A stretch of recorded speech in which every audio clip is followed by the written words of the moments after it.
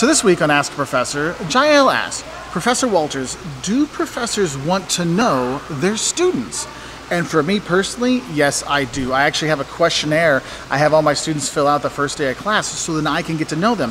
Because it takes me a few weeks to read through them, but it's nice to get an idea where my students are from, what are some of their hobbies, where have they lived before, have they studied abroad, what are some of the things they want to get out of school, what are some topics they want to learn.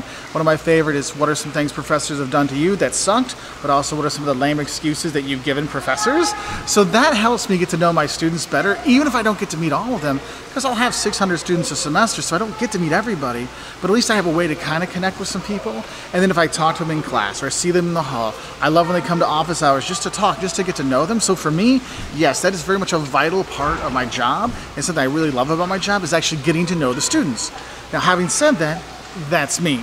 And I have met professors over the years that getting to know the students wasn't really super high on their priority list. However, I will say this over the 20 years I've been teaching, that is one thing that's gotten less and less and less because professors seem to want to know their students more and more and more to make a better educational experience, not just for you, the students, but for us educators as well. So, Jael, I hope that answers your question.